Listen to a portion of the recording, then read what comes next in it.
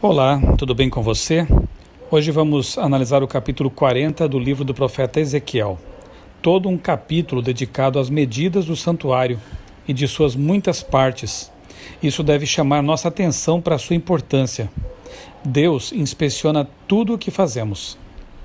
Verbos recorrentes nesse capítulo são levar e medir. Deus quer conduzir e controlar nossa vida com a nossa autorização.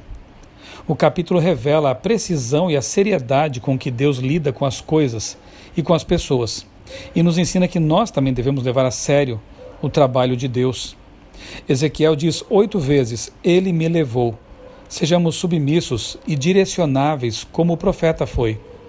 Nós somos templo do Espírito Santo e ele lida conosco com o mesmo cuidado e com a mesma consideração com que lidou com o templo.